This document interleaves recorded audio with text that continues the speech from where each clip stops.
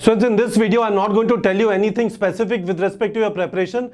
The only thing I want to address in this video is, if you think you are mediocre, can you uh, crack NEET? Right? I want to tell you no one is mediocre. I want to tell you this is a stupid question. Are you, an, uh, are you intelligent or are you a fool? This is not the right question. If you are asking how important a factor intelligent is, intelligence is in cracking NEET, this is my answer. 99% success. 99% success is achieved through hard work and only 1% is intelligence.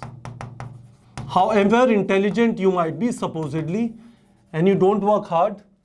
Anyways, in my mind, intelligence is an acquired trait. You can become intelligent by working hard. This is how most of the people become intelligent. No one is born intelligent. You become intelligent by working hard, applying yourself, bringing in the required discipline. So what we have seen are the two most important things that matter most in exam like NEET. And for that matter, anything else in life, immense self-belief. You cannot doubt yourself. If you doubt yourself, you will not be able to do anything. Game is over before it has started. And the second thing is, once you have immense self-belief, you should have extreme discipline.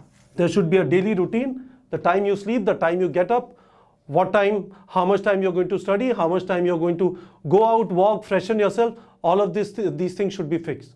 Because I'm not trying to undermine, I'm not trying to underestimate the toughness of the competition. 16 lakh students will appear for NEET exam for around 48, 49,000 government college seats. It is not easy. But if you have the self-belief and if you have the requisite discipline of daily routine, you set two week micro targets, you decide around 13 weeks remain in 2022, you decide what you will cover in two, two weeks chunks, right? You set that target. That option is available on this uh, neetprep.com, right? And then in those two weeks, in some chapters you uh, read theory, in some chapters you read MCQs, every uh, Sunday you write mock test. Every Sunday you write mock test. And I've told you, you have to largely do three things. One, you have to write mock test. Two, you have to fix your weak areas which you are finding out from the mock test. And third, you have to revise so that you are able to retain till the exam. The exam is not difficult. The difficult part is it is very, very difficult to retain so many facts, so many formulas, so many reactions, right? So students, confirming again, and I want promise from you in the comment section. Don't listen to anyone who tells you you are not capable. It's not your cup of tea. You are a mediocre person. No one is mediocre. We make ourselves mediocre by not working hard. But no one is born mediocre. You work hard and you will achieve whatever you want. Let no one tell you who you are. You will decide who you are. You will decide what you want to achieve with your hard work. In this time, this confidence in yourself is the most important thing. This is your best friend.